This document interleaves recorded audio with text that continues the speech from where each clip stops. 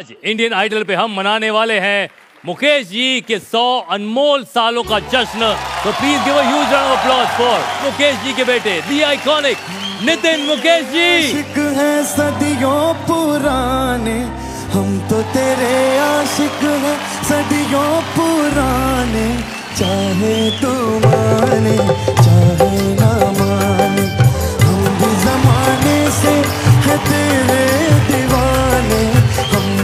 जमाने से है तेरे दीवाने चाहे तू चाहे ना चाहे तू You are a wonderful performer.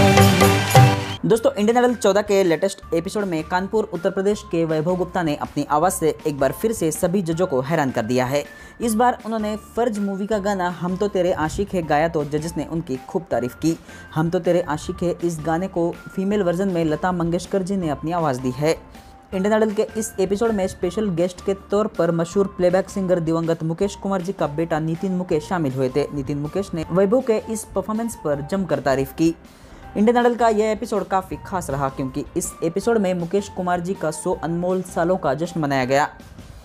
दोस्तों, वैभव गुप्ता के इस परफॉर्मेंस के बारे में आपका क्या कहना है? हमें कमेंट करके ज़रूर बताएँ। साथ ही वैभव गुप्ता के लिए इस वीडियो को दिल से एक लाइक ज़रूर कीजिए। धन्यवाद।